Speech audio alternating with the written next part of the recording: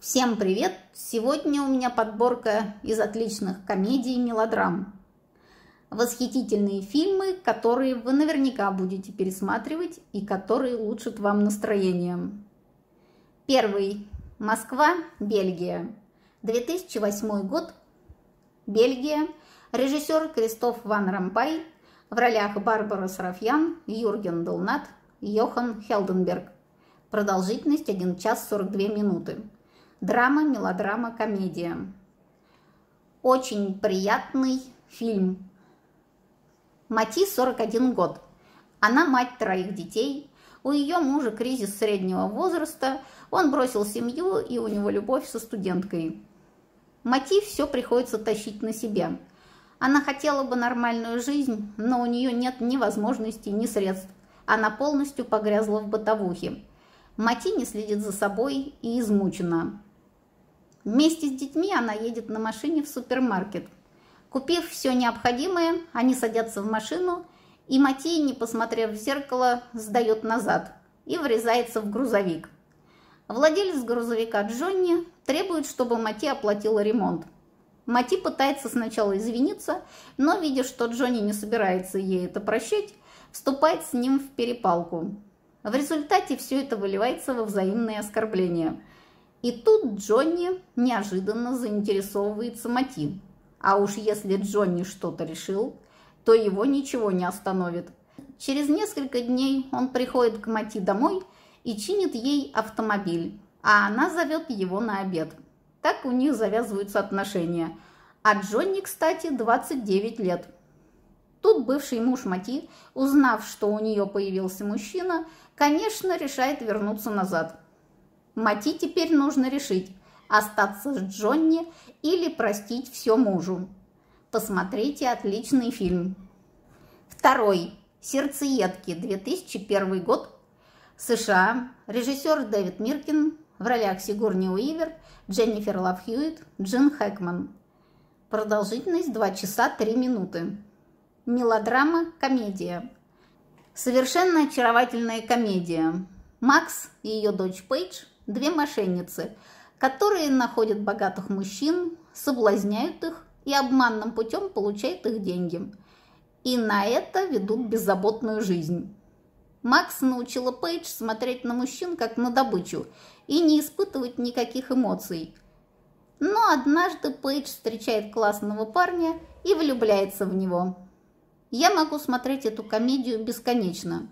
Дженнифер Лав Хьюитт и Сигурни Уивер – Отличный актерский дуэт.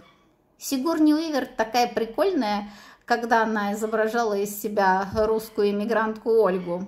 И, конечно, ее запоминающееся исполнение песни «Back in the USSR».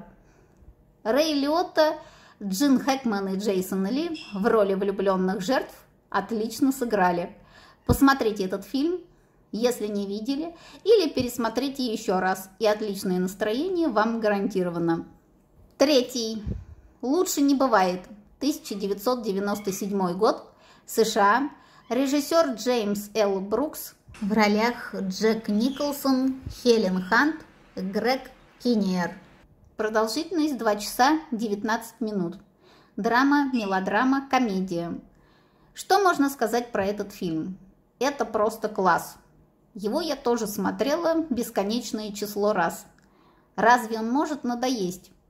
Джек Николсон в роли известного писателя Мелвина Юдала с обсессивно-компульсивным расстройством просто восхитителен. Он говорит людям все, что о них думает, и даже не задумывается, что может кого-то обидеть. Он терпеть не может окружающих, но он тайно влюблен в официантку в кафе, куда он постоянно ходит. Однажды его соседа избивают, он попадает в больницу, а Мелвина, друг соседа, заставляет взять на время его собаку. И так одно за другим, и Мелвин начинает заботиться и о сыне официантки, и о соседе, и о его собаке. А на деле выясняется, что Мелвин настоящий человек, который не говорит слова сожаления, как это делают многие – при этом за словами нет ничего, а как нужна помощь, так сразу никого не остается. Мелвин не говорит, а на самом деле делает. Я думаю, многие видели этот фильм. Но разве не стоит посмотреть его еще и еще? Это просто шедевр романтической комедии. Четвертый. Взрыв из прошлого. 1998 год. США. Режиссер Хью Уилсон. В ролях Брэндон Фрейзер, Алисия Сильверстоун, Кристофер Уокен. Продолжительность 1 час 38 минут. Комедия, мелодрама. Следующий великолепный фильм, который я тоже могу смотреть бесконечно.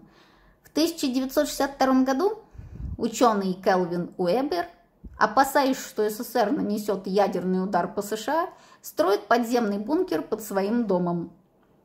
Там есть все, чтобы провести много лет, ни в чем не нуждаясь. Когда по телевизору передают, что кризис нарастает, он, считая, что скоро начнется война, спускается в бункер вместе с беременной женой. И в этот момент на дом падает истребитель ВВС США. Все думают, что они погибли, а Келвин решил, что началась война. В бункере у них рождается сын Адам, и так они втроем живут, никуда не выходя. Родители вырастили отличного сына, но он совершенно не приспособлен к реальной жизни. И когда через 35 лет запасы у них начинают заканчиваться – Адам решает выйти на поверхность.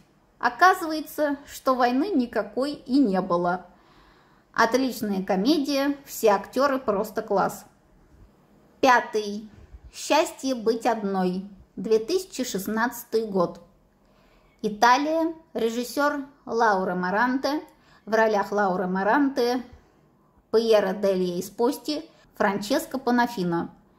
Продолжительность 1 час 37 минут комедия, мелодрама. И еще один отличный фильм. Флавия не уверена в себе. Она была два раза замужем и оба раза неудачно. Еще у нее отношения с женатым мужчиной. И также ничего хорошего. Все это привело Флавия к неуверенности в себе, и теперь она попала в зависимость от своих друзей, сыновей, бывших мужей и новых жен мужей. Никто не воспринимает ее серьезно, и фактически они просто командуют ею.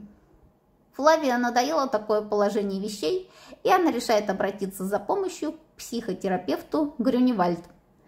Флавия совершенно милый человек, ей просто надо снова обрести себя и вырваться из неуверенности.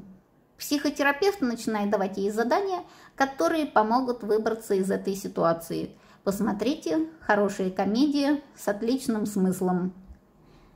На сегодня все. Смотрите мои видео, подписывайтесь на канал и всем пока.